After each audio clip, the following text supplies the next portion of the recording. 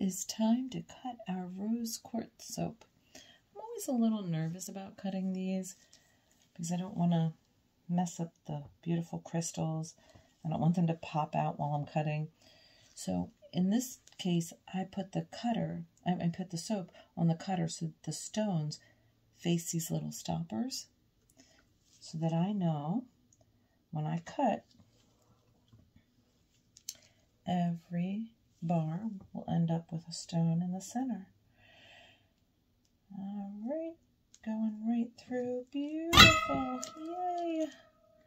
Let's pull out a bar. Oh, look how pretty it turned out. I love these so much. And this will sit on the curing rack for a little over a month, maybe six weeks, and then it'll be ready.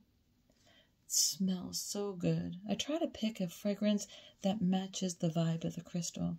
And rose quartz is known for bringing love and openness to your life.